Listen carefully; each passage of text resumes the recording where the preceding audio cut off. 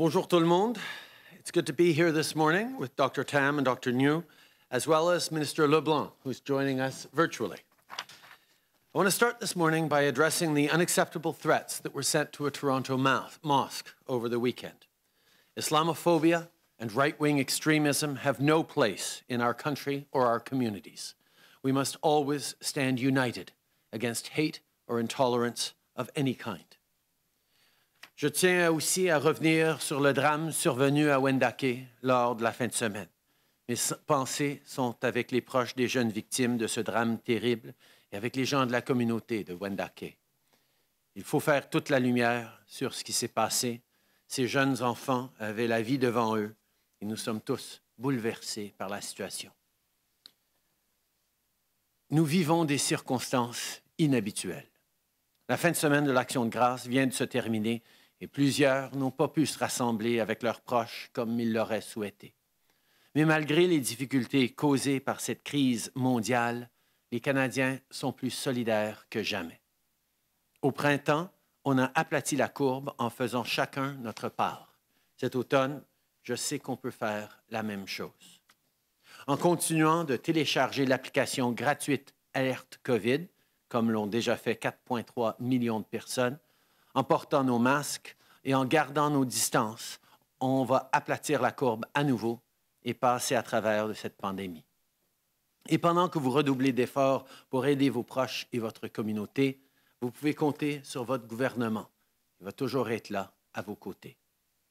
With rising COVID-19 cases, quick and accurate testing deployed with the right strategy has become more important than ever. That's why our government has been working around the clock with the provinces and territories to boost their testing capacity while at the same time securing the world's best rapid testing technology. These efforts are paying off. As Minister Anand announced, Canada recently secured up to 28.4 million rapid tests from Abbott. And on that front in particular, we're continuing to move forward. Shortly, the federal government will be sending these new rapid tests, Abbott PanBio and Abbott ID Now, to the provinces and territories.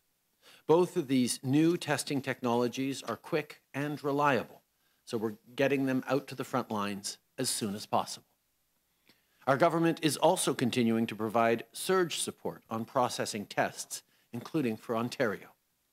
And for the First Nations communities of Kasabonika and Pikangikum, National Microbiology Lab employees are on the ground with testing kits. It is vital that these communities, with cases of COVID-19, have the necessary testing capacity to control the spread of the virus and keep people safe. From day one, we've worked with the provinces and territories to protect the most vulnerable. Moving forward, that's what we will continue to do. Soon, more Canadian Red Cross support will be deployed to a number of long-term care facilities. Seniors must be safe and well cared for, and our government stands ready to help provincial counterparts in that work. This is a point I will continue to make with the premiers at our 20th First Ministers meeting this coming Thursday. Notre gouvernement travaille sans relâche pour acheter de nouveaux tests de dépistage rapides les distribuer aux provinces et territoires et assurer un soutien d'urgence dans les communautés pour le traitement des résultats. En ce qui concerne les vaccins, les progrès se poursuivent aussi. Vers la fin de euh, la la semaine dernière, Santé Canada a reçu une demande d'autorisation pour le candidat vaccin de Pfizer et BioNTech. Comme pour la demande d'AstraZeneca il y a deux semaines, c'est une autre étape de plus vers un vaccin sûr et efficace pour les Canadiens. Et à ce sujet, j'aimerais aussi rappeler à tout le monde de se faire vacciner contre la grippe cet automne. C'est un bon moyen de se protéger tout en aidant les hôpitaux et les cliniques de dépistage à se concentrer sur la lutte contre la COVID-19 sans se laisser distraire par la grippe. Our top priority is keeping you and your family healthy and safe. That means protecting you from this virus, and it also means ensuring you have the support you need to weather this storm. Yesterday, applications opened for the new Canada Recovery Benefit. The CRB provides $500 each week for up to 26 weeks for people who are self employed or don't qualify for employment insurance. Since yesterday, over 240,000 applications have been received. If you need this help but haven't applied yet, go to CRA's My Account through Canada.ca or call 1 800 959 2019 or 1 800 959 2041. The application process is simple. In fact, if you've used the CERB, you'll find it very similar. Our government will continue to do everything we can to support people through this crisis, whatever it takes, as long as it takes. If you get COVID 19 and aren't covered at work, the Canada Recovery Sickness Benefit is there for you.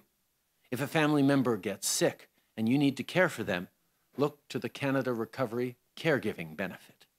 If you're affected by COVID 19, we've strengthened employment insurance to be there for you and if you can't access EI, the Canada Recovery Benefit is able to help. And for business owners, there's more support too. This crisis has been very difficult for businesses across the country. So we've strengthened major programs that we created that have been a lifeline for them.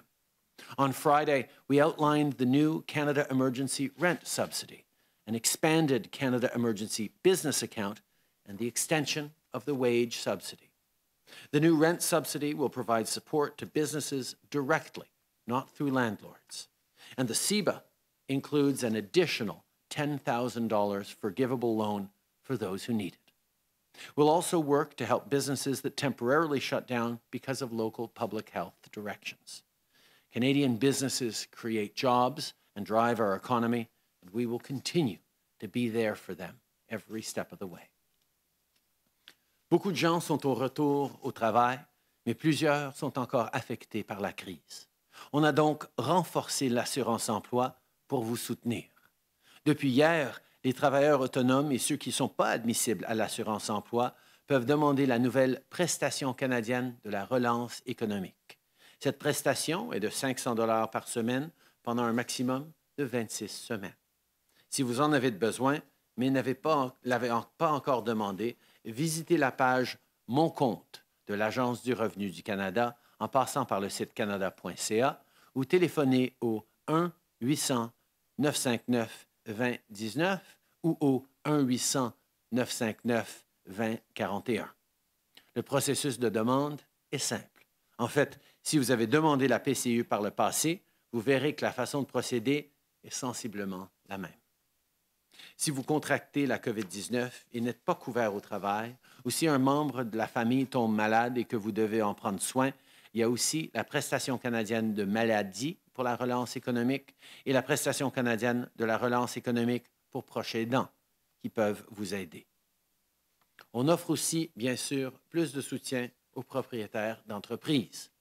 Vendredi dernier, on a présenté des mesures élargies pour ce qui est du loyer, du salaire et des prêts sans intérêt, ainsi que des mesures ciblées pour les entreprises touchées par les consignes d'autorités locales de santé publique.